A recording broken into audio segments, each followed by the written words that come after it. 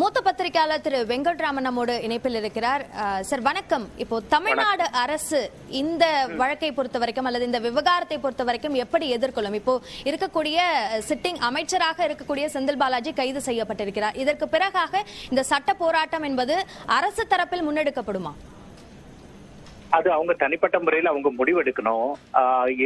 இப்போதைக்கு இருக்கிற ரியாக்ஷனை பார்க்கும்போது அவங்க அரசாங்க அரசாங்கம் அவங்களுடைய தரப்பில இருந்தும் இதை பத்தி அவங்க நடவடிக்கை எடுப்பாங்கன்னு நான் தோணுது.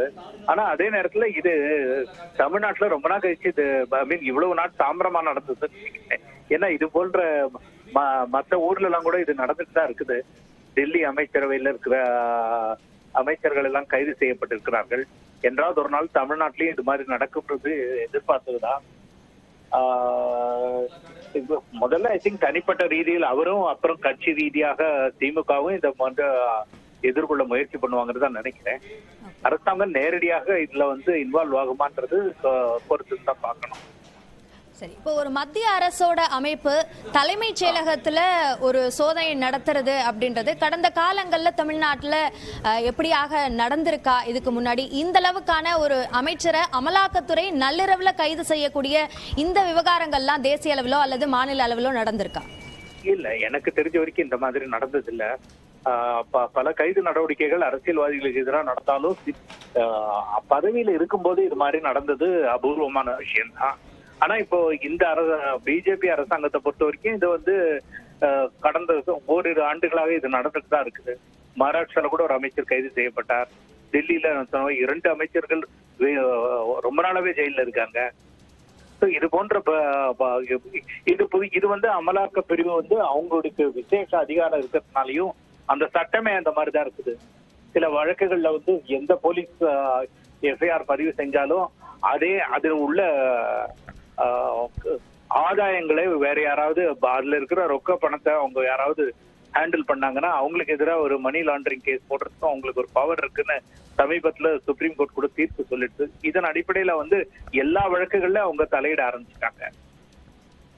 இப்போ ரெண்டாயிரத்தி பதினொன்றுலேருந்து பதினைந்து வரைக்கும் நடந்த ஒரு மோசடி என்று சொல்லப்பட்டுதான் இந்த வழக்கு தொடரப்பட்டது. அப்போதிலிருந்து பல்வேறு நீதிமன்ற பின்னணிகளில் இந்த வழக்கு தொடர்ந்துட்டே வந்து தடை இல்லை என்று சொல்லப்பட்ட பிறகு தற்போது இது தீவிரம் அடைந்திருக்கிறது இப்போ அப்போ நடந்த ஒரு விஷயம் வேற ஒரு ஆட்சியில் வேற ஒரு ஆட்சியின் கட்சியினுடைய அமைச்சராக இருந்து தற்பொழுது இப்போ வேறு கட்சியில் அவர் இருக்கிறார். இப்போ அதற்கான ஒரு விசாரணை என்பது தீவிரப்படுத்தப்பட்டிருக்கு அப்படின்றத ஒரு சட்ட ரீதியாக இதை நம்ம எப்படி பார்க்க வேண்டியிருக்கு? இது சட்டத்துல வந்து இதுல இதுக்கு என்ன தடை எதுவும் இல்லை? இந்த மாதிரி ஒரு விசாரணை மேற்கொள்வதற்கு அவங்களுக்கு அதிகாரம் இருக்குது. ஆனா அதே நேரத்துல வந்து இவ்வளவு நாட்களா ஏன் அது மே- நடவடிக்கை இருக்குல்லன்ற ஒரு கேள்வியும் வருது. ஒரே ஒரு என்னன்னா இப்ப சப்ரீம் சமீபத்துல தான் உச்சநீதிமன்றம் இந்த மோசடி வழக்கை வந்து மீண்டும் விசாரிக்கணும். அவர் நடந்து கொண்டிருந்த விசாரணை துரிதப்படுத்தணும்னு அதன் அடிப்படையில இது வந்து இந்த நடவடிக்கை எடுக்கப்பட்டிருக்கலாம்.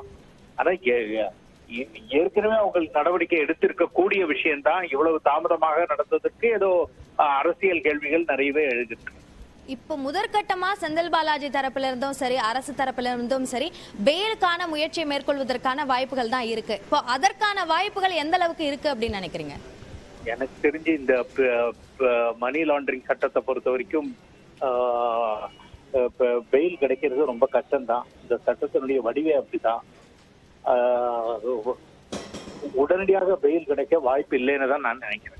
ஆனா இப்போ உடல்நிலை சரியில்லை என்ற வகையில அவருக்கு சிகிச்சை அளிக்கப்பட்டிருக்கக்கூடிய நிலை இந்த அடிப்படையில அவருக்கு பெயில் கிடைக்க வாய்ப்பு இருக்குமா? அது அவ- அத- அதாவது மெடிக்கல் பெயில்ன்றது இது தனி. அதை வந்து அவங்க அவங்க தரப்புல அது எந்த மாதிரி அதை எதிர்க்கிறாங்களா இல்லையான்னு பார்க்கணும்.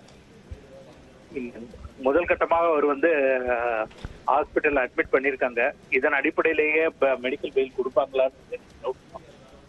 அவருக்கு உண்டான சிகிச்சைகள் இருந்தால் அவர்களுக்கு பெயில் மறுப்பதற்கான வாய்ப்பும் இருக்கிறது. இப்போ அரசியல் ரீதியாக இது சார்ந்த நிறைய விமர்சனங்களும் கூட முன்வைக்கப்பட்டுட்டு வருது. இப்போ இப்போ நடக்கக்கூடிய இந்த நடவடிக்கைகள் இந்த நள்ளிரவுல கைது இந்த அடிப்படையில அரசியல் பின்னணி இருக்கும் அப்படின்னு நீங்க கருதுறீங்களா? இதுல அரசியல் பின்னணி நிச்சயமா இருக்குது. இதுல என்ன இவர் வந்து இவர் மேல ஊழல் குற்றச்சாட்டுகள் இரண்டாயிரத்தி பதினொன்று முதல் பதினாறாம் ஆண்டுக்கான அதிமுக ஆட்சியில் காலத்திலிருந்து இருக்குது. பல ஆண்டுகள் கழித்து நீங்க சொன்ன மாதிரி ஆட்சியும் மாறிய பிறகு உங்க நடவடிக்கை எடுக்கிறாங்கன்னா அதுல வந்து ஒரு அரசியல் காரணம் இல்லாம இருக்கலாம். மீன் இல்லாம இருக்காது. இதுல இப்ப சமீப காலத்துல நீங்க பாத்தீங்கன்னா ஆளு அப்ப எதிர்க்கட்சிகளுக்கு ஆதரவாக இருப்பவங்க மேலதான் அதிக நடவடிக்கை எல்லாம் எடுக்கிறாங்க.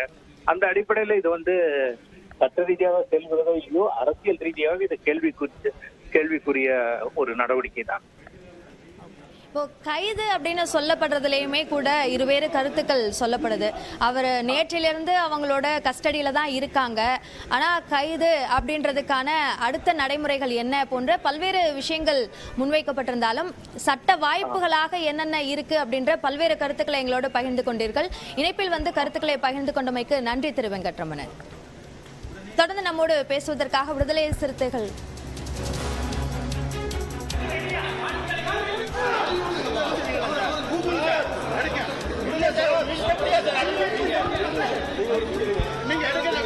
உச்சம் நீதிமன்றத்தினுடைய இந்த உத்தரவு